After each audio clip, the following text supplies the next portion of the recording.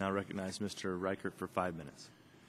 Thank you, Mr. Chairman. Sorry I uh, missed uh, some of your testimony. I, uh, we all have other venues we have to run to and come back to. Um, I want to follow up, I think, on a little bit of what Mr. Rangel was talking about. I'm, I'm guessing we're going to be heading in, this, in, in the direction of some strategies, but specific to a certain issue um, of growing exports.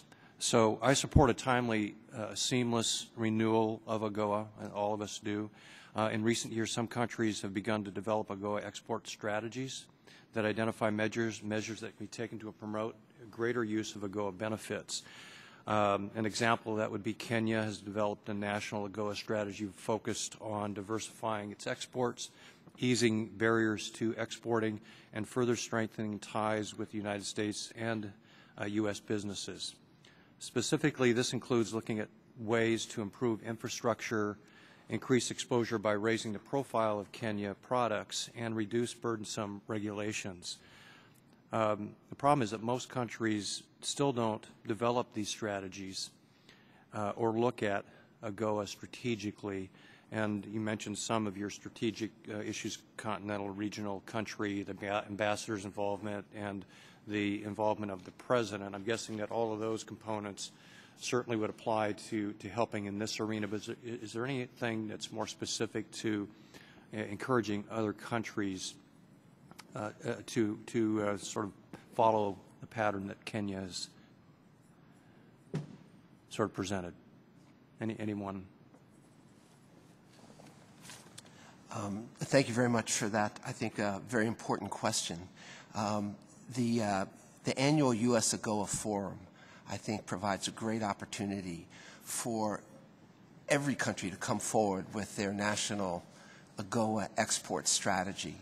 And I think we've seen where certain countries, you know, are using the internet much more effectively, and certain governments are using the, the, the internet much more effectively to post contracts in the natural resource sector.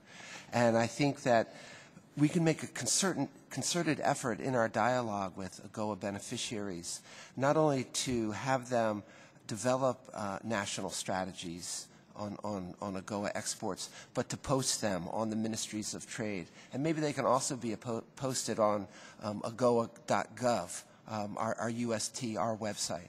And if these AGOA strategies are developed in the right way, the result of a consultation between local private sector, civil society, government, other stakeholders, I think they can be terribly effective. So I would like, I would like to see over the next two or three years that every, Go, every GOA uh, beneficiary come forward with a national strategy that we can understand and that we can measure progress against. Other comments? Yeah, I would, I would add uh, one or two things to that. I think underlying um, your excellent question is um, African governments have the ultimate responsibility to come forward with their own strategies that um, will build upon and seize the opportunity of preferential access to the U.S. market. And within Within that, I think the U.S. government should be prioritizing its engagement and its very scarce assistance dollars on those governments that have demonstrated a strong commitment to reforms and action.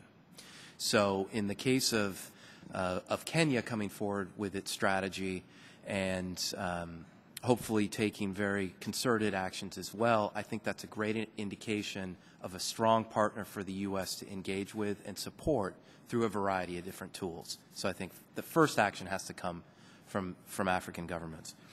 Within that context, on our side, uh, going a little bit further than what I mentioned before, when we are thinking about uh, trade capacity building assistance, I think there's, there's um, a great opportunity to work within these strategies and, if required, to supplement them with constraints analysis um, growth and trade uh, constraints analysis. Um, I mentioned the political will to implement reforms. I have to look at that. Um, um, opportunities at the sector level for greater trade, as well as the ability to attract investment. Um, I think it's those kinds of things that need to be guiding principles when we are determining where scarce resources should go. Uh, but it all needs to flow from governments stepping up and coming forward with strategies, but more importantly than strategies, action. Thank you very much, Mr. Chairman. I yield back. Thank you, Mr. Reichert.